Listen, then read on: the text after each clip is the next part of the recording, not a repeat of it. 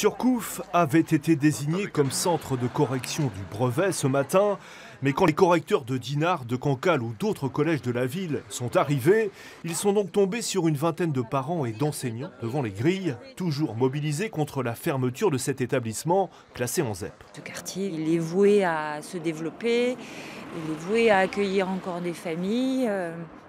Donc euh, sans collège ici dans ce quartier, qu'est-ce qu'on fait? Enfin, c'est, ça paraît euh, mais complètement, euh, complètement irréel euh, cette décision. Une décision votée par le conseil départemental. Si sur l'île et Vilaine, les ouvertures de trois autres collèges sont à l'ordre du jour, sur Saint-Malo, il faut s'adapter à la baisse démographique, a expliqué la majorité de gauche, et trouver sur la ville un meilleur équilibre en termes de mixité sociale, des arguments toujours contestés ici. Saint-Malo a besoin de tous ces collèges. Même s'il n'y a peut-être pas assez d'enfants, on peut peut-être euh, répartir autrement pour que tous les élèves soient scolarisés dans un collège proche de, de chez eux. Pour nous, c'est pas terminé puisque le préfet n'a pas encore arrêté sa décision. Donc on l'invite à venir euh, nous rencontrer, les personnels, les parents et le collectif d'organisation qui s'est créé autour de cette question.